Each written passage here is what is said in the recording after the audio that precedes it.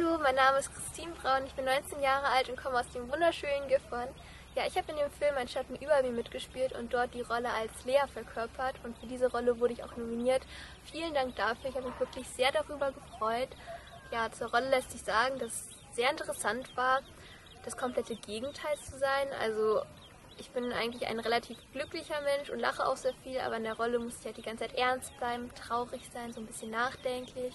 Ja, es war halt eine sehr interessante Erfahrung, das auch mal spielen zu dürfen. Und auch einen lieben Dank an Viktor Güter, der überhaupt die ganze Idee zum Film hatte. Und ohne ihn wäre ich auch gar nicht zum Schauspiel gekommen. Also er hat mich einmal gefragt, ob ich Lust hätte, das mal zu machen. Und da fand ich das eigentlich ganz cool und es hat mir auch sehr viel Spaß gemacht.